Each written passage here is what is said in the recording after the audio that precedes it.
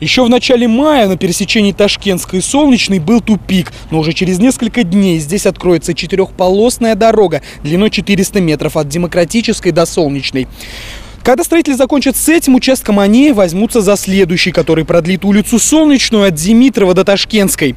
В середине лета этой дорогой смогут воспользоваться только местные жители. Но когда закончится строительство путепровода над улицей Демократической, который соединит между собой два участка улицы Ташкентской, напрямую от Московского шоссе до Солнечной сможет проехать любой житель Самары. Сейчас полностью готовы две опоры путепровода из четырех. Еще одна собрана на 80%. А вот чтобы начать монтаж последней, строители ждут, пока перенесут опору высоковольтной линии электропередач. Одна из них мешает установить бур. В этом, в принципе, сложность. И ждем, пока будет отключение, перенос.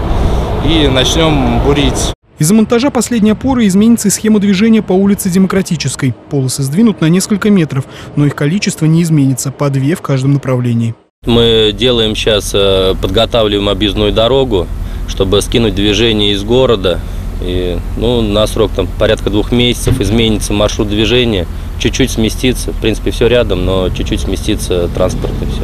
Также будет две полосы в одну сторону и две полосы в другую. Путепровод длиной 90 метров станет важной частью ремонтируемого участка улицы Ташкентской от больницы Середавина до Солнечной. Проект реконструкции включает в себя дорогу с четырехполосным движением, тротуары, велодорожки и парковки у клиники. На всем участке сейчас работают 200 человек и больше 100 единиц техники. Подрядчики обещают, дорогу откроют уже в ноябре. Андрей Горгуленко, Константин Головин. События.